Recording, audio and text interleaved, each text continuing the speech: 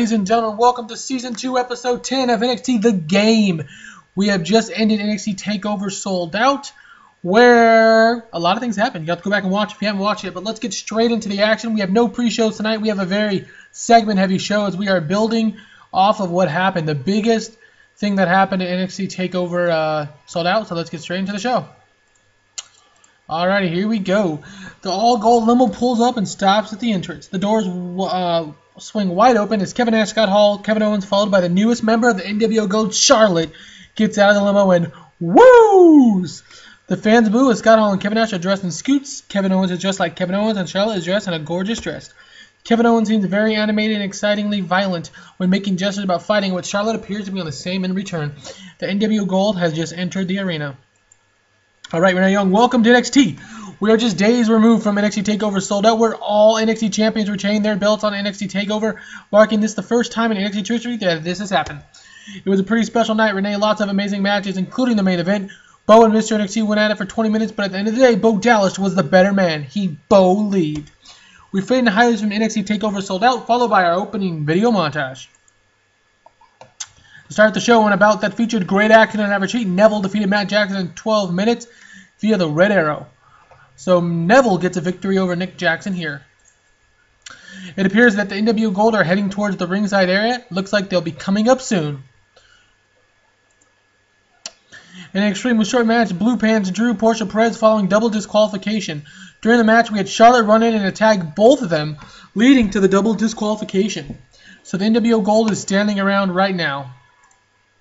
After the NWO Gold theme had hit, Charlotte had just walked in for whatever reason and attacked Blue Pants and Portia Perez, sending the two ladies out of the ring. Kevin Owens, Kevin Nash, and Scott Hall, who were circling the ring when this happened, all step over and pass the fallen woman, and they get to where Charlotte is wooing some more. Scott Hall grabs all four women in the NWO as the group stands in the middle of the ring facing the crowd. Hey, yo! The fans boo as Scott Hall looks around. How do you think we look now? Hall and Nash point to Charlotte, who walks up to the rope and begins screaming at the people in attendance, and even Kevin Owens can be heard audibly off camera saying, I love this woman! As we catch Charlotte flashing her pearly whites at Owens. You see, while Sasha Banks may be a quote-unquote legit boss, the NWO is only interested in alphas. The fans boo and chant for Gable and Jordan as Kevin Nash takes a moment to cut him off. Yeah, keep dreaming, not those idiots. The fans boo some more. Ladies and gentlemen, the plan was put in place pre-Legacy, and gosh darn it, if the plan hadn't been executed to perfection.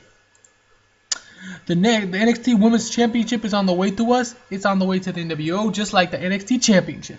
The fans boo some more, but begin to cheer as William Regal's music hits and blaring as he shows up on the entrance ramp with a microphone and starts to make his way quickly to the ring, but thinks twice of it. Kevin Owens, goddammit, Albert is out now thanks to you. Son, you are out of control. Kevin Owens looks at Regal with a smile. Should have gotten in my way, the fans boo. It was not he, but it was he, but not I, who requested the match, Regal. The fans boo some more.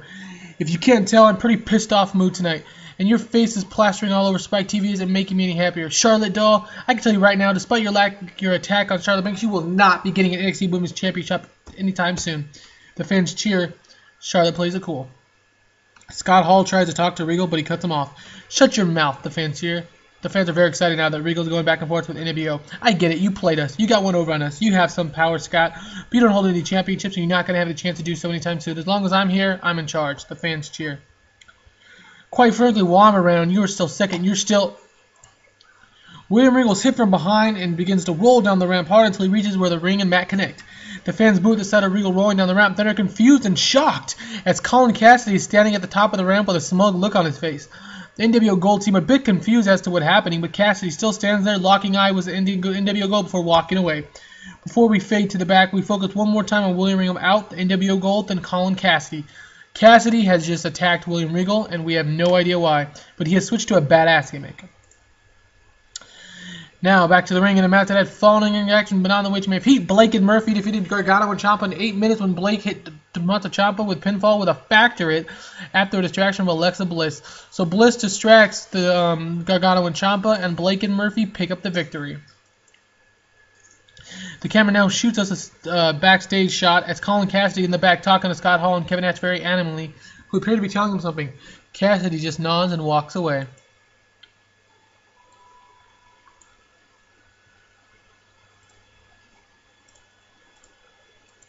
So Cassady turns.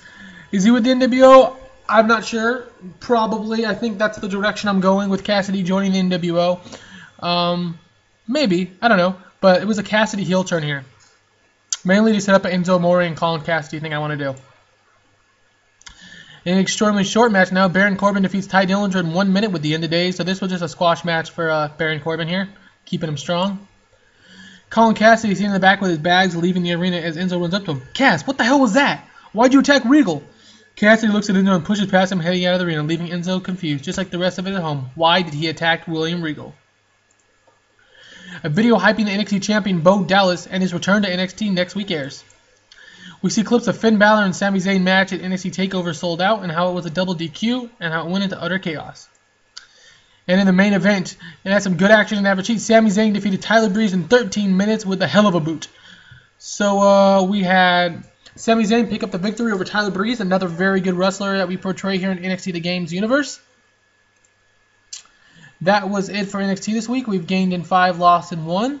This was NXT Season 2, Episode 10. The big news, of course, was Charlotte coming and debuting and debuting with the NWO Gold at TakeOver um, Souled Out. And this week with William Regal finally standing up to the NWO for the first time since he returned. And Colin Cassady, for whatever reason, knocking him down the ramp a little bit. So what that means for Cassady's heel turn, I'm not sure. But it does mean that we have a lot of stuff to go on with NWO. And, you know, we're going to have to see the direction that they're going. Thanks for watching, everyone.